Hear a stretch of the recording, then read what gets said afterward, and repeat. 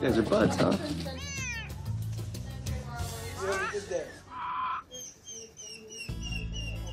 Anne's bringing in her dog Suzie because she stopped eating last night. Suzie is three years old. She is an old English bulldog mixed with a bloodhound. Suzie? This morning we tried to open her mouth and she let out a large yelp. Hi, Suze. Just not sure what's going to happen. She absolutely means the world to us. Okay, what's going on with Suzie? Something in her mouth. Okay. Hi, sweetie. How long has this been going on? She last night. Has she been chewing on anything? Yeah, she loves bowls. Rides, bones. You can look at your teeth. I do an exam and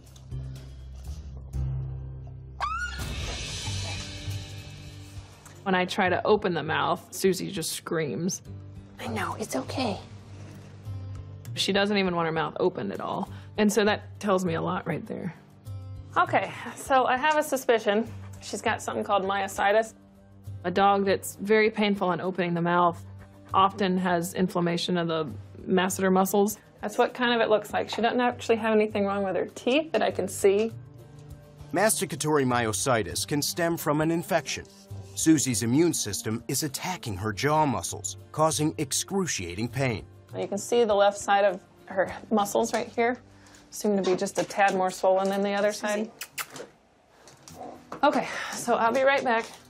The treatment for it is basically to bring the inflammation down in those muscles because every time she opens her mouth, it hurts really bad. Okay, so yeah, it's just long-term um, steroid therapy. It's something that she's going to have to be on therapy for a while. It's not something where I'm just going to go in there and pull a stick out and she's going to feel better. This can sometimes take four to six months to get over. But hopefully we've caught it early. We can get started.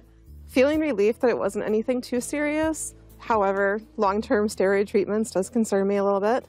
I hope for a full recovery, no lasting side effects. Need to get that inflammation out of her mouth. All right, so hang on. Got a sticker in the butt. You get a butt stick. Sorry, girl.